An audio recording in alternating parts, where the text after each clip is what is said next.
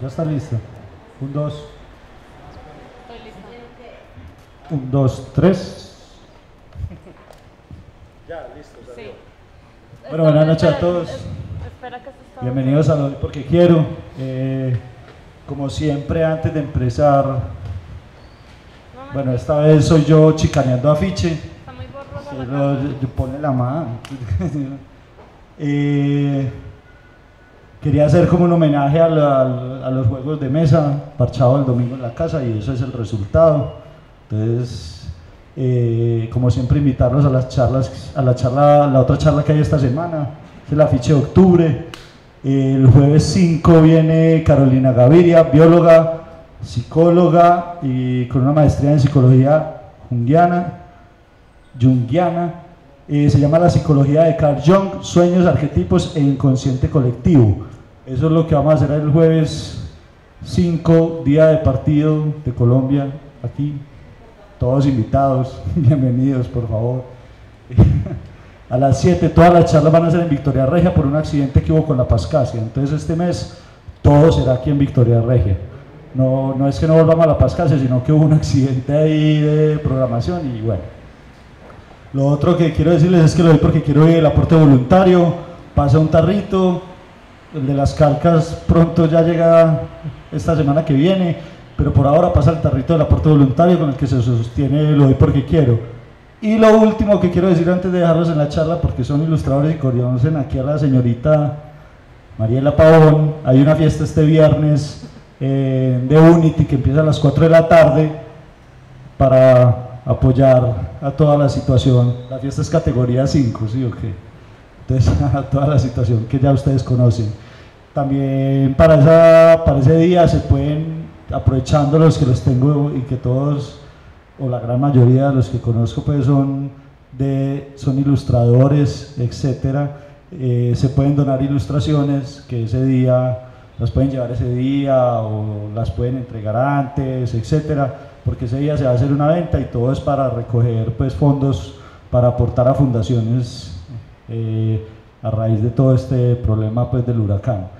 ¿Sí o no? Es- Está bien, ¿algo más que decir? ¿Algo que agregar? La entrada vale 5 mil más un dado de la suerte. ¿Sí o qué? Desde las 4 de la tarde en The Unity en Envigado. Cualquier información, Mariela está aquí. ¿Sí o qué? Y bueno, ya sin más entonces, con este nuevo formato, eh, la segunda vez que la tenemos del Faire, es grafología del, grafologías del Faire, y la conversación va a ser entre Luis Echavarría y Elizabeth Builes, que es la protagonista e ilustradora. Muchas gracias, bienvenido y un aplauso para ella.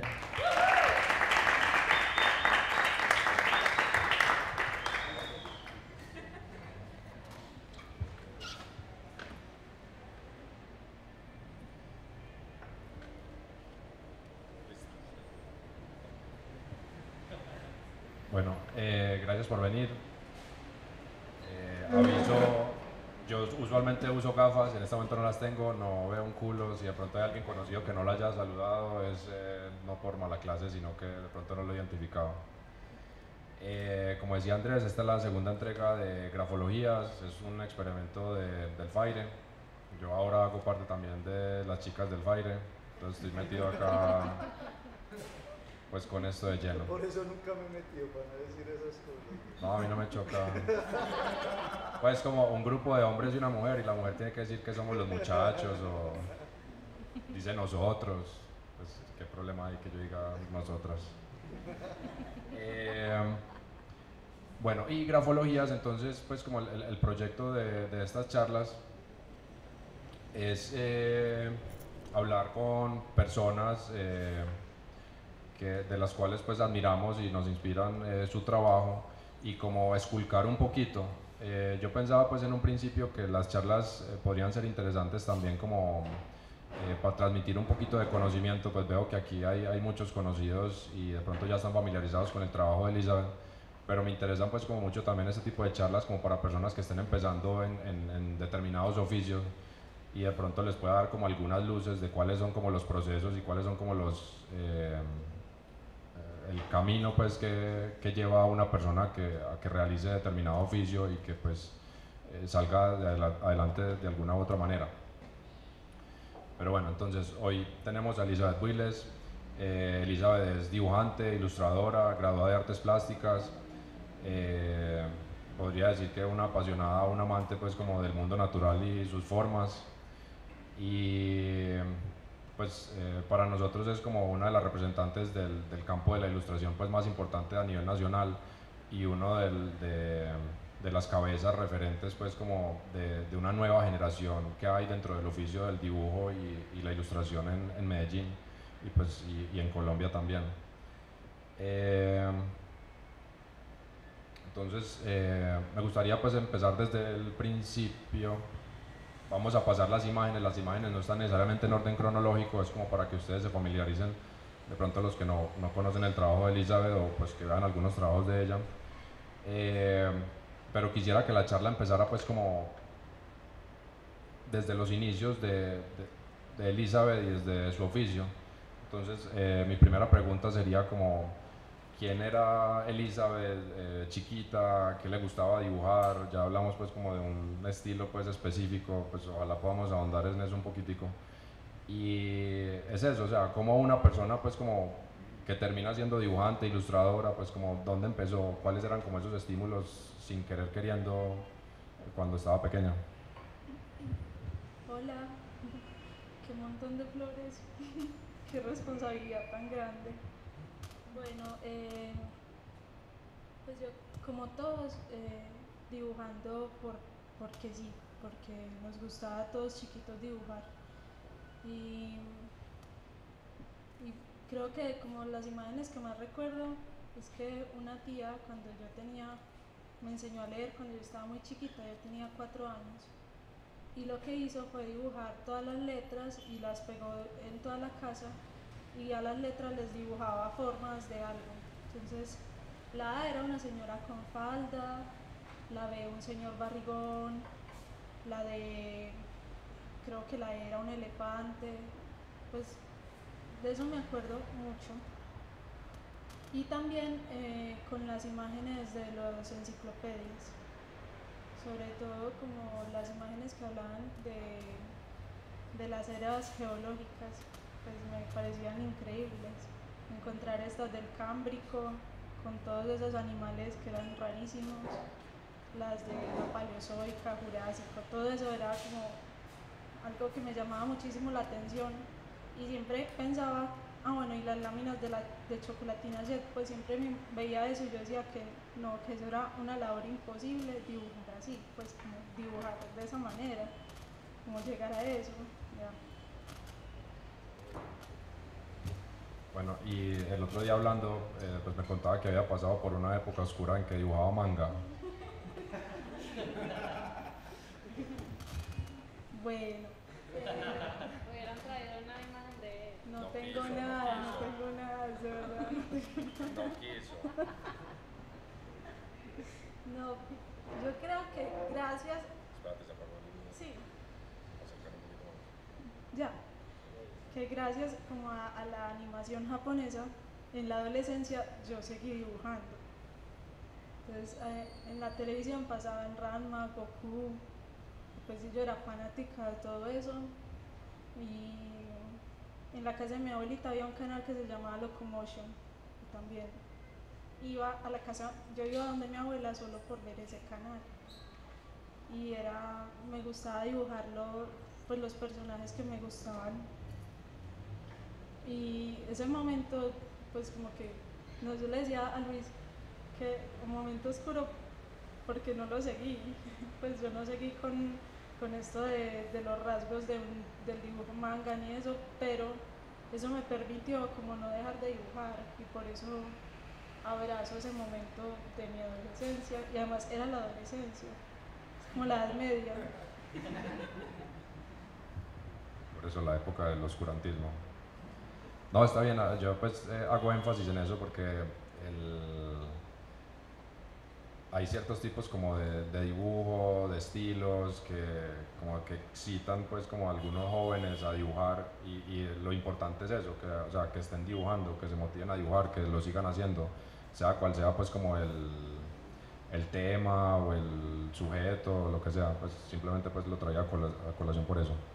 Bueno, después del colegio, eh, Elizabeth eh, quería estudiar biología en la universidad, pero terminó estudiando artes plásticas. Eh, ¿Por qué no nos cuentas un poquito pues como de esa dicotomía de querer hacer una cosa y terminar haciendo otra y igual pues eh, abrazando esa otra, digamos como ese otro camino y, y cómo pues como de alguna manera hubo como unas curvas o unas combas que llegaron un poquitico en contacto con ese campo de la biología. Mm, bueno, cuando estaba en el colegio, eh, yo, el perfil que me ponían en el colegio si era un perfil de, ah, vos vas a estudiar diseño gráfico, vas a estudiar artes, y a mí me molestaba mucho esa etiqueta, pero ¿por qué? Pues porque dibujaba tenía que estudiar eso, ¿no? Y yo quería estudiar biología.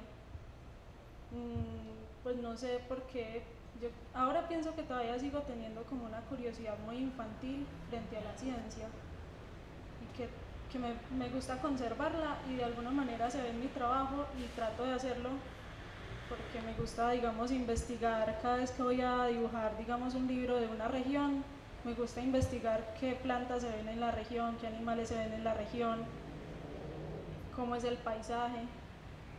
Pero no pasé a la Universidad de Antioquia, que es la que ofrece biología en la ciudad, o la que ofrecía biología en la ciudad en el momento en el que yo salí del colegio pero sí pasé a artes en la nacional. La verdad no recuerdo por qué no me presenté a ingeniería forestal, por ejemplo, sino que pasé a artes, empecé ahí a estudiar y decidí terminarla. En medio de la carrera vi que había la posibilidad de ver materias de ingeniería forestal, entonces entré a estudiar botánica y entomología y pues también empecé a tener también amigos dentro de la facultad de forestal, a, frecuentar el herbario y a entrar a unos cursos en la de Antioquia Ingeniería, eh, perdón, de ilustración científica que me permitieron como combinar las dos partes que más me gustaban.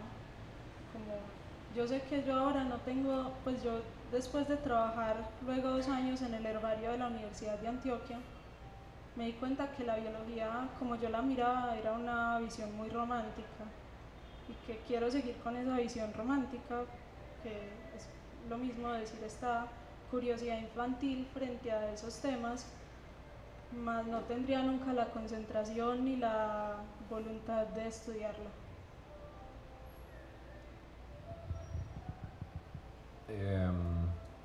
Habíamos hablado pues como que, que, siempre el dibujo era pues como un interés latente durante la carrera de artes plásticas, pero que no siempre pues eh, los proyectos eran a través del dibujo, que había un, un, espacio pues como para experimentación, para el ensayo, para el error, como de, pues fuera de, del ensayo y el error y la experimentación o qué aspectos específicos, eh, si se acuerda, si lo tiene en mente, como retoma de esa carrera de artes, de artes, plásticas como que le sirvieron pues como para el oficio ahora? Sí, cuando entré a estudiar artes yo no, pues dibujar era una constante porque siempre llevaba libretas de dibujo, sin embargo yo nunca llevé el dibujo como una manera formal de mi trabajo dentro de la carrera. Eh, entonces, pues, y eso me gusta ahora, a pesar de que realmente si lo miro estéticamente no era nada bueno, pues todo lo que hacía era cosas muy raras, muchas muy malas, pero me permitían como jugar, como que yo me daba un espacio de jugar, como, ay, ¿qué es la instalación? Ay, pues voy a hacer una instalación, salga horrible o no, pero quería como, como jugar con todo esto que me permitía la academia, pues como ese espacio de haga lo que le dé la gana, y eso me gustó como herramientas que pueda tener ahora de, pues yo sentí que después de que salí de artes, sí trabajé mucho más de lo que trabajaba durante, durante la carrera, pero hay herramientas, sobre todo de investigación, que me han servido muchísimo ahora, como en la labor de ilustración, de investigación y de no sé, como de llegar a las composiciones, creo. Bueno, y eh, también había mencionado que cuando salió a la universidad no tenía ni idea qué iba a hacer, que me parece algo particular porque uno por lo general cuando sale del colegio es que no tiene ni idea qué va a hacer, pero usted hizo su carrera, la asumió y al salir de la carrera salió pues eh, según lo que pues, me había dicho que salió muy perdida. ¿Qué tenía en mente en ese momento? Y hablarnos un poquito como de los trabajos eh, que siguieron a partir de ahí, un poquito pues sobre lo de la animación. Cuando salí de arte no tenía idea porque pues ya tenía claro que no quería hacer. No quería como ser docente porque yo no tengo el chip de la docencia, menos como para, para colegios, eso es, eso es un talento. Y eh, también no tenía, no tenía un montón de información que luego fue entendiendo en el camino después de graduarme. Y es, por ejemplo, como yo no sabía que se dedicaba un artista cuando se graduaba. Pues como o era el gran artista tipo Doris Salcedo o era profesor. Pues era, tenía mucha ignorancia al respecto.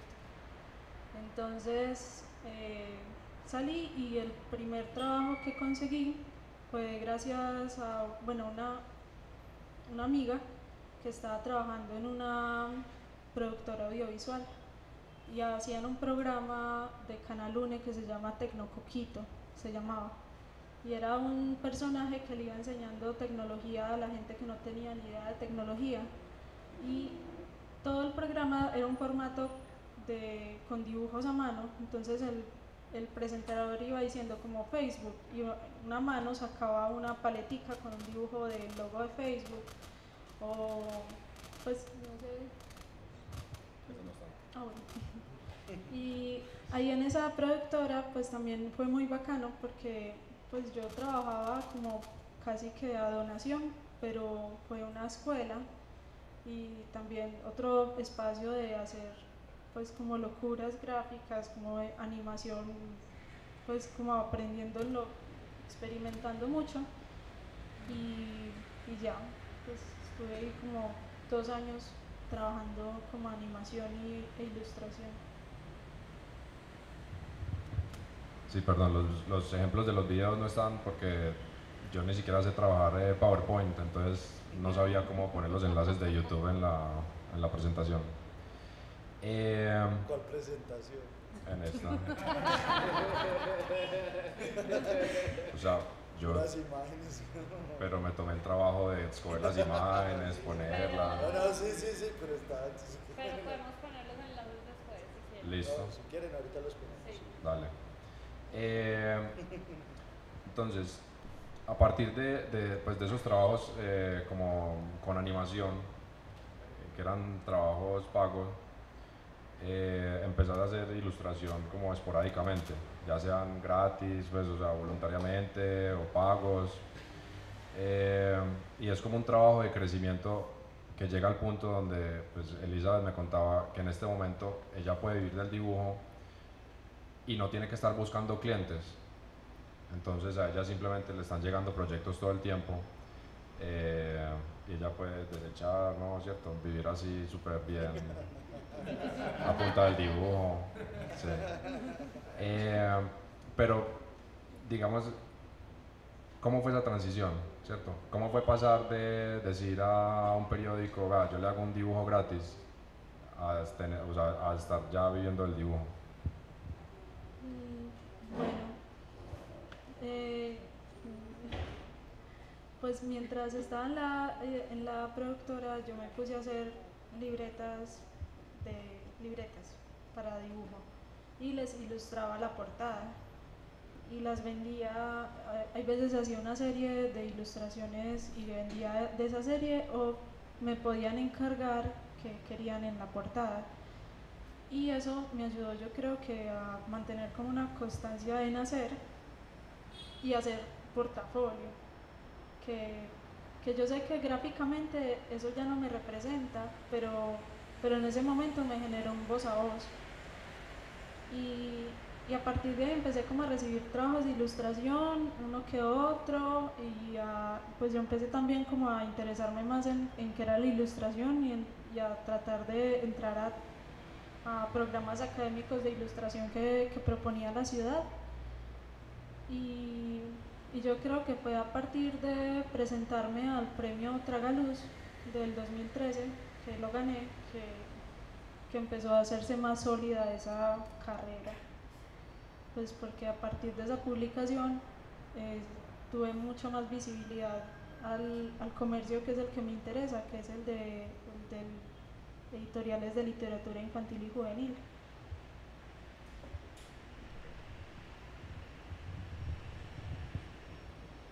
Em, bueno, como en todo oficio y más pues de, manera independiente uno tiene que lidiar con clientes, tiene que lidiar con proyectos que no son los de uno, ilustración pues eh, pues prácticamente el trabajo es eso, ¿cierto? Hacer, dibujar, ilustrar para otra persona. Eh, deben llegar trabajos que uno dice como que, wow, esto es como lo que he querido toda la vida, pues no sé si haya llegado todavía, pero me imagino que en algún momento, pues si uno es juicioso, le, le llegan.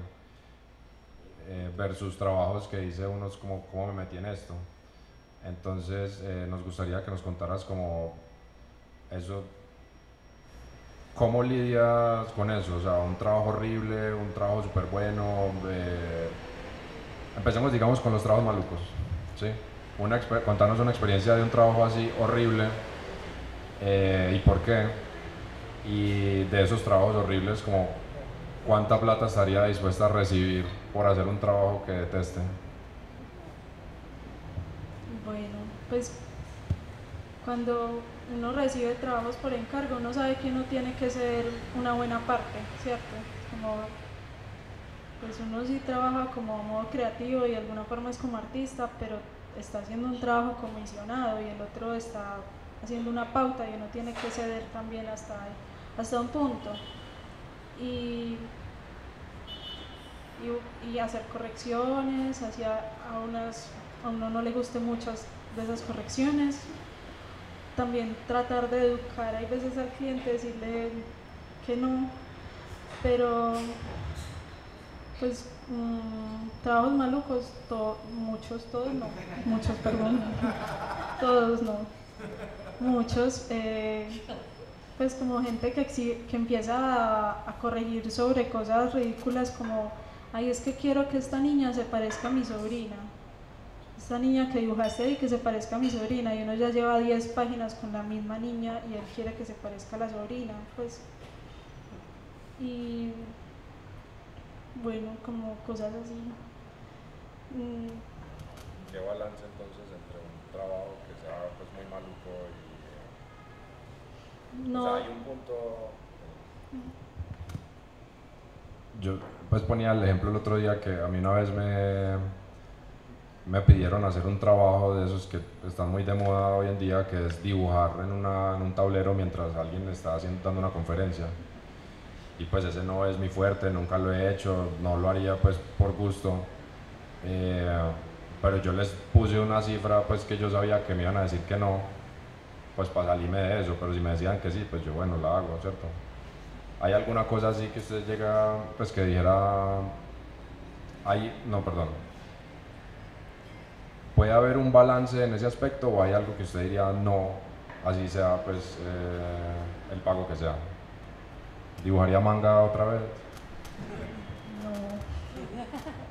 No, hay cosas que uno entiende que uno, que uno las podría hacer, sufriría muchísimo, pero otra persona que uno incluso conoce la puede hacer mejor que uno. Entonces más bien uno rota y uno dice de una como, sabes que yo no soy la persona para este trabajo, pero te recomiendo a tales.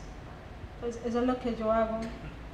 Sin embargo, yo sé que yo, pues ahora, como así trabajo personal, estoy entrenándome en saber decir que no.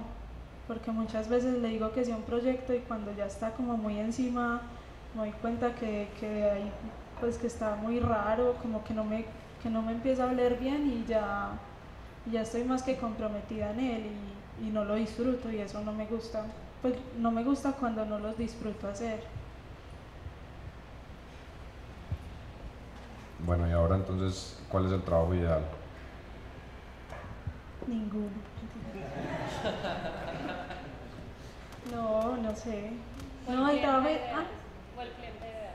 El tipo de trabajo, Una cosa pues. que te soñé hacer. no, es que no sé. Pues yo me sueño un montón de cosas así, como Eso. sueños guajiros, pero No importa. no, no sé. Mm, No, los clientes ideales son esos que le respetan a uno la crea pues como esa libertad creativa, que lo saben guiar a uno sin ser, sin ser muy mm, limitantes. Eh, los que, no sé, los que entienden cuál es el trabajo de uno, como saben qué ritmo tiene uno, como pues como que no le, que no se siente forzado todo, como que la, la comunicación es respetuosa, que paguen bien. Pero, pero a mí me gusta, pues yo creo que yo encuentro, yo sé que yo encuentro disfrute en todos los trabajos que hago. A veces sufro un poco más que en otros, pero, pero me gusta mucho.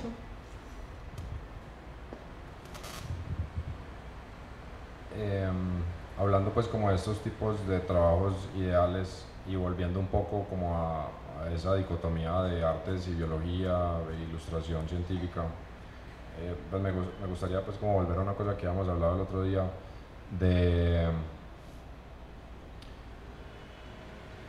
el disfrute de realizar una ilustración completamente académica, científica, estricta, eh, y también el, el tipo de ilustración que, es, que tiene un poco de las dos, pues como que esa visión idealizada de la ciencia, de la naturaleza, y con un, pues, eh, con un punto de vista pues o una que se nota pues que Elizabeth mete la mano y le da como su propia interpretación entonces pues como contarnos un poquitico como cómo se eh, cómo, eh, ¿cómo se dice? aborda esos proyectos y, y, pues como lo que pensás con respecto a ello Mm, Bueno, como les había dicho, yo también trabajo en ilustración científica. Y hay eh, ilustración científica para científicos es una- un trabajo demasiado esquemático, pues es, es, lo más, es más cercano como a, como a dibujo arquitectónico, a dibujo técnico que a la ilustración narrativa. Pero está la ilustra pues está la, el trabajo de ilustración científica para divulgación que digamos hace un punto medio entre esas dos porque va para la gente común y corriente que no está en medio de la ciencia y que necesita entender también cuáles son los ecosistemas pues un ejemplo los ecosistemas o las aves de la ciudad digamos vos a un, a un científico le pones un dibujo de una de un petirrojo, se lo puedes poner en blanco y negro y él sabe decirte qué especie es porque dice, ay, este pelito está en ángulo de tal, entonces es tal. Cambio vos a, a un vil mortal como yo, le pones un dibujo de un pájaro en blanco y negro y no tenés ni idea de qué, de qué pájaro es, pero si lo pones con, con los colores de las plumas y todo esto, que son lenguajes que nosotros identificamos, las lecturas que hacemos normalmente, pues ya empezamos como a identificar más fácil que estamos viendo. Y que me gusta mucho pues como esa no sé esos recursos pedagógicos eh, de la ciencia y el arte bueno eh, una pregunta un poquito de pronto no sé si sea difícil o no pero cuando, cuando usted ve su trabajo, eh, ¿es complaciente o pues usted dice como que ah, yo, hice yo hice esto, qué nota, soy una tesa? O mira eso y dice como que no, me quedó muy feo, pero va a ser el próximo. O sea, ¿cómo, cómo es la relación suya con su propio trabajo? Eh, cuando estoy en un proyecto largo y lo estoy terminando, yo odio, pues lo veo y me parece horrible, pues, no sé, pero también sé que es por la saturación que tengo en ese momento con, eso, con lo que estoy haciendo. Pues ahora veo imágenes mías que yo digo, como que tal vez yo ya no soy tanto, ya no me veo tanto ahí, pero que no es tan mal y como siempre estar buscando, pues estar investigando conmigo misma como a dónde quiero llegar y que no sea, que no se me vuelva una cárcel.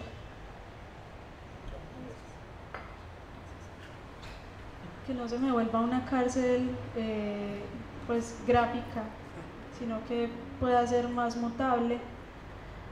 Por ejemplo, ahora quisiera ser un poco más desinhibida como con las manchas de color, pues no sé, o antes me daba mucha dificultad hacer atmósferas, casi siempre hacía como personajes en espacios vacíos, con muy poquitos elementos, y me puse como, no, voy a hacer a las atmósferas, y ahora yo creo que hago demasiadas atmósferas.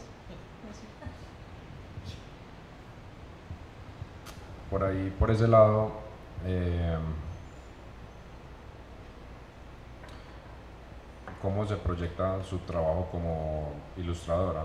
O sea, no sé, hay, un, hay como una conciencia de, digamos, del punto donde está, pues como de sus capacidades, de sus intereses y, em, y de esa conciencia hay como algún tipo de proyección, pues como lo que estás diciendo de las atmósferas, o sea, hay una cosa como que no, yo quiero hacer esto, quiero llegar a tal punto, así sea pues como, como trabajo, ¿cierto? Como la, eh, digamos, la calidad, no la calidad técnica del trabajo, sino como la calidad de trabajo en cuanto a relación de cliente y, em, proyecto y en cuanto al, oficio y, y, a la habilidad del dibujo, o sea, hay unas cosas que usted quiere aprender, hay cosas que quiere desaprender, o sea, cómo se proyecta, digamos, no sé, a futuro, hay, hay un proceso o es simplemente un oficio eh, que lo está haciendo en este momento y no piensa como en que hay más allá?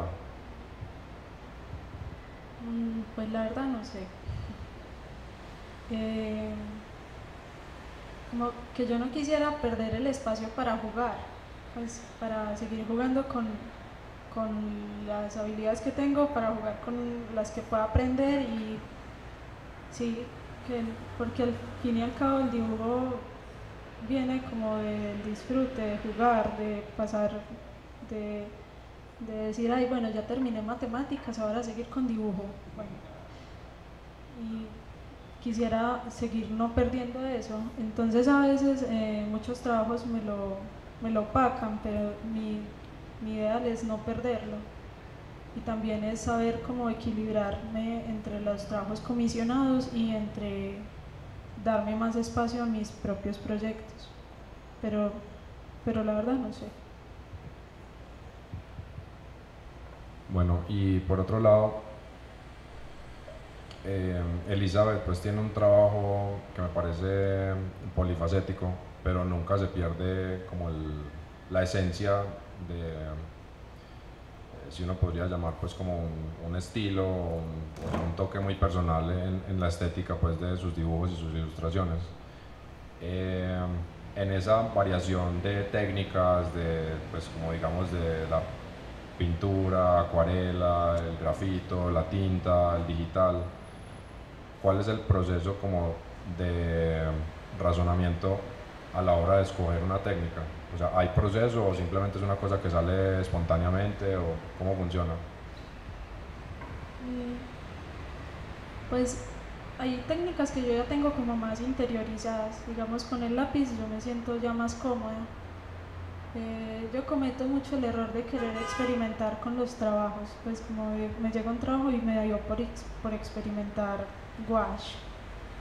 Y a veces sale bien, a veces no sale para nada bien pero, pero no, yo, yo soy curiosa, pues en experimentar materiales me gusta mirar a ver con cuál, que me dan resultados diferentes. Eh, yo creo que el lápiz siempre va a estar.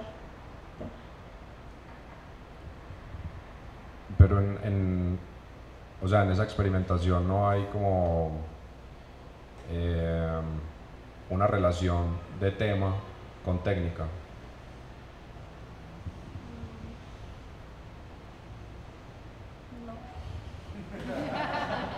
Eh, cuando es ilustración científica, científica, sí tiene que ser siempre igual. Pues es puntillismo, tinta negra, papel blanco y cuando son las de para divulgación suele ser acuarela. Así. ¿Siempre todo lo haces a mano o a veces digital? Es, es como híbrido, pues hay hay una parte a mano y unos ajustes en digital y una, muchas veces es solo color en digital. Em, hace mucho tiempo yo oí a alguien decir em, que uno debe- debería recibir pago por aprender y por experimentar. Entonces, pues lo que vos decís en realidad es como... Y yo me quedé mucho pensando eso. Y lo que estás diciendo de aprovechar los trabajos para experimentar me parece... No me parece un error, me parece una muy buena solución como de... Muy funcional, ¿cierto? Y me parece que es una cosa que de pronto más personas deberían eh, como aplicar en vez de caer en fórmulas y en caer pues como en algo seguro. Sino que cuando uno lo llaman para un trabajo, lo llaman porque ya, por lo que ya vieron.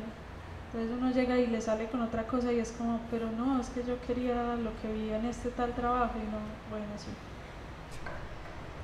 Hay, hay quienes dejan y dicen, ve, salió, pues me gusta lo que salió, pero hay otros que, pues sí me ha pasado. Bueno, me pasó con uno que lo terminé, lo entregué y al final me dijeron, no, ¿sabes qué? Pues está muy bien, pero queríamos esto otro, que es lo que sentimos que más te representa. Ahí de pronto también hay como... Me parece como una relación difícil con los clientes porque si alguien está dedicado al dibujo todo el tiempo, en un año va a cambiar el estilo del dibujo, ¿cierto? En un año va a cambiar los intereses estéticos, o sea, siempre está cambiando, entonces va a ser una cosa complicada si lo llaman a uno para, hacer un- para que se parezca a un trabajo que hizo hace cinco años o seis. Bueno, eh, otra pregunta. Influencias, ídolos, ahí ya como ha habido como alguna eh, en esa pues como en, en- esos referentes hay referentes eh, que de pronto piensa en que en que trata o busca seguir como más afines o hay mutaciones entre esos referentes, cómo es el, eh, la relación de su trabajo pues como con, con personas o, o proyectos pues que, que admira.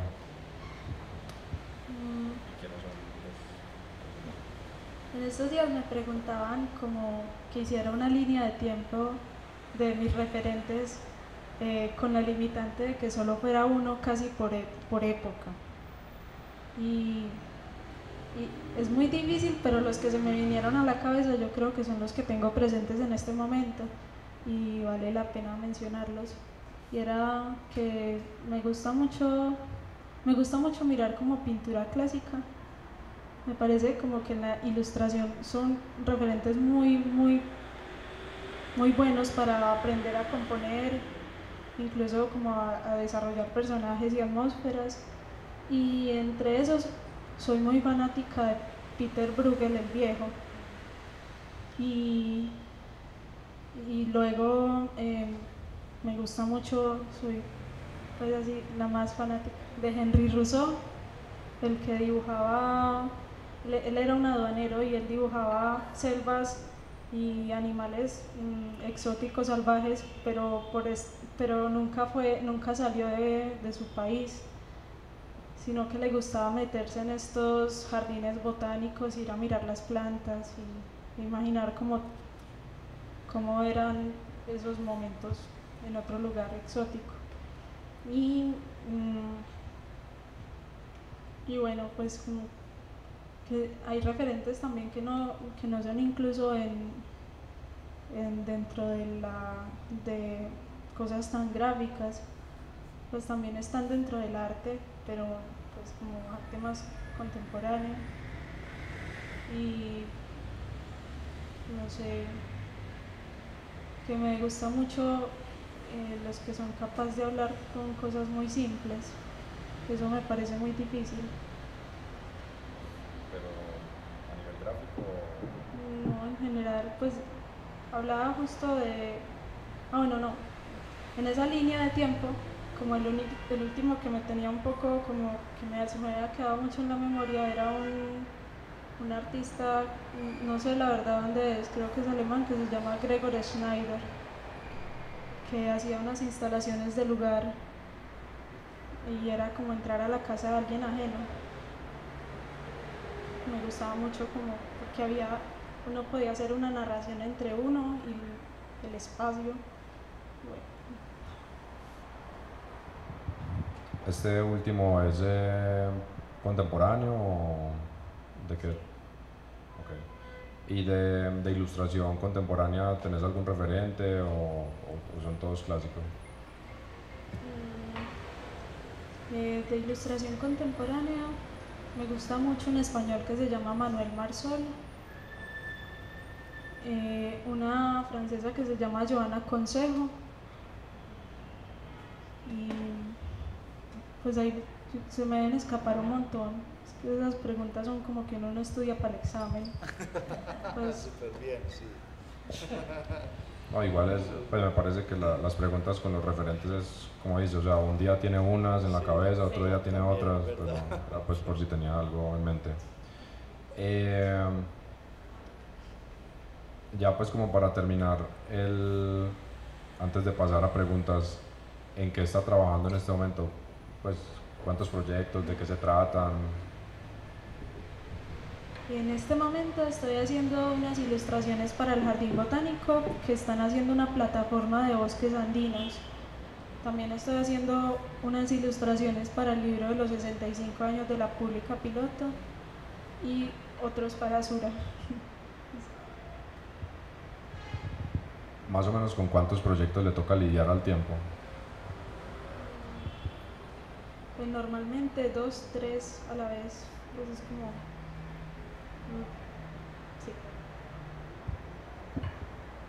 y en ese estilo de vida lujoso de ilustradora, ¿qué tanto trasnocho ha involucrado? ¿O simplemente usted tiene 3, 4, 5 proyectos al tiempo y es tranquila de 8 a 5 y ya sale para su casa? ¿Cómo funciona? Pues eh, desde diciembre yo decidí sacar el espacio de trabajo de mi casa y esa ha sido la mejor decisión que yo he tomado un buen rato porque eh, antes trasnochaba muchísimo, como que estaba en mi casa, yo sabía que tenía la cama al lado y me podía quedar hasta el otro día y, y no, pues no, trasnochar no me funciona. Entonces ahora eh, creo que organicé mejor mi tiempo.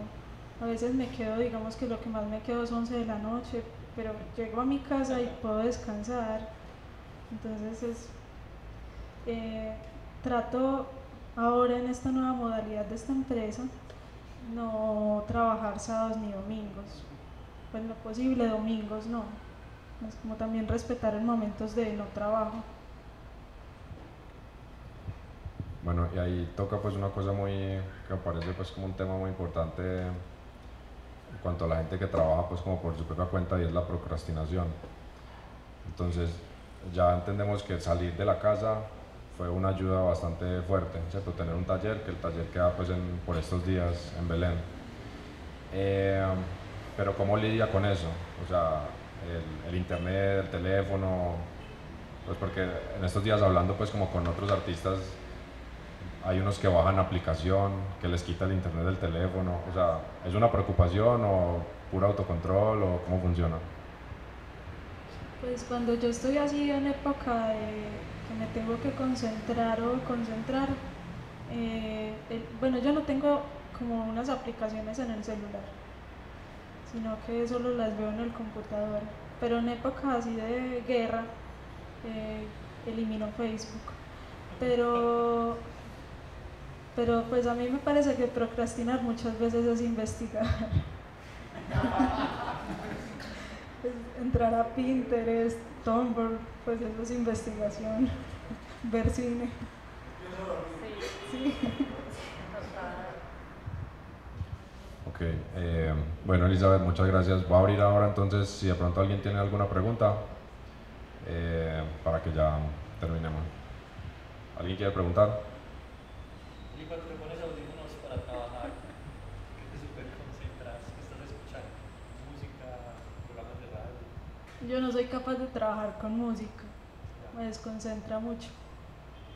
Entonces trabajo casi siempre con programas de radio. ¿Y cuáles hay? Mm, pues eh, ahora, todos estos días me estaba oyendo una que se llama Radio Ambulante, que lo, pues como que lo descubrí hace poco porque un amigo está trabajando ahí, entonces me los he oído todos, nunca los había oído, pero, pero el, el- hay uno que siempre está, que es Diana Uribe, con la historia del mundo, que también es entretenido, las conferencias del Parque Explora, las del Planetario, mm, las que sube eh, la fiesta del libro también.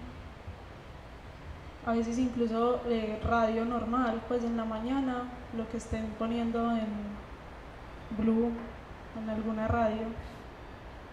Pero me, pues me gusta más como escuchar gente hablar. O a veces pongo series que ya me vi y las repito. Eso está ahí.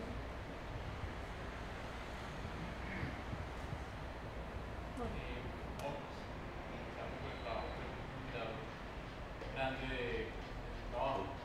Eh, sí, cuando, cuando muestras esto y me gustó mucho escucharte, eh, me recordé como esos personajes del siglo XIX y XIX, como donde confluían como el arte y la ciencia, ¿cierto? Como esa mirada de la biología dura, pura científica, rigurosa, entonces una cosa como más romántica de, de, de ese encuentro entre el arte y la ciencia, ¿cierto? Eso, como tu trabajo, cuando dices que conservas como esa como esa curiosidad infantil por la, por la ciencia, me parece bellísima esa explicación. Pero quería preguntarte, porque uno ve como mucha precisión en los dibujos desde el punto de vista científico, ¿cómo es tu observación de la naturaleza? O sea, salís a campo, son fotografías, ¿cómo, es, cómo lograr esa precisión en, la, en el dibujo de la vegetación que me parece tan potente? Pues cuando, pueda sal- cuando puedo salir a campo me parece ideal, pero muchas veces es como que tengo que ilustrar un paisaje, digamos, Argentina, y no puedo salir a campo. Entonces en esto, puro internet. Sales a campo a pintar con el, lugar, pues, una acuarela, No. No, salgo y el, fotografías y después a partir de fotografías. Pero yo, yo me pregunto, pues, una pregunta también que lo de las técnicas, diversos artistas, me imagino que en ese mundo manejaste un montón de técnicas, pero cuál como que no hayas usado en el mundo de la ilustración que crees o te gustaría usar, o que no las usaban por o Y razón, pues uno sabe que hay un montón de cosas, pues, una técnica que vos, a vos te gustaría usar de pronto en una ilustración que no hayas usado. Hay Eh, algunas, ¿no? Pues cuando decía ahorita que quería ser como más desinhibida con la mancha de color, era que quería como ser más pictórica, como, como digamos óleo, no sé, algo que sea solo pintura, porque yo hago dibujo y le echo color, pero el color no es así que digamos la pintura, sino colores planos o muy básico, pues. A preguntar algo. De pronto mezclas eh, música con pintura, poesía con pintura o solo lo que veas y te quieras pintar. Pues hay como unas mezclas de artes. Mm, No te entiendo. No sé cómo preguntarla de otra manera. ¿Pero para hacer como un trabajo personal o para...? Pues sí, personal, no. Pues, por lo general los trabajos eh, vienen como de artículos editoriales, de cuentos, de... Entonces yo pienso que está muy relacionado pues con el campo de la literatura, ¿cierto? Pero de pronto, o sea, es- ¿está hablando de personal o de... Personal, personal. Sí. Pues, de combina... Pues cuan- cuando, hago cosas personales, creo que también las llevo, como las traigo casi siempre de las letras. Con la música, la música me gusta, pero como que nunca ha estado casi en mi trabajo. No. Sí, no. Vení, ahorita cuando te preguntaron sobre los panoramas, los panoramas que te soñas como a futuro, como ilustradora, no dijiste ninguno, porque dijiste que tenías muchos.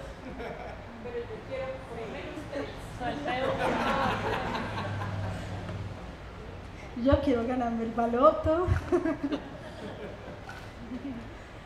que me den un subsidio por millennial. Mentira, no, no sé. Pero hay alguien en particular con el que quisieras trabajar.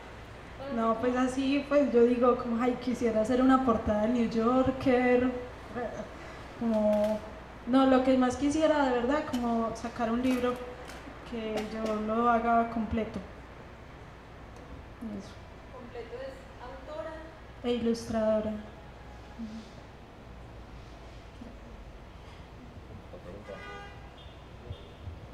Bueno, un- referente en el cine. No. Sí, no, porque es como lo último que me vi, lo último que me gustó muchísimo, pero también lo que he visto me gusta mucho Jim Jarmusch. bueno Elizabeth, muchas gracias. Espero que no haya sido mucho sufrimiento. Y a todos los asistentes, muchas gracias pues eh, por venir. Eh, ya Andrés les va, a- va a repetir la, Ah, la información de la próxima.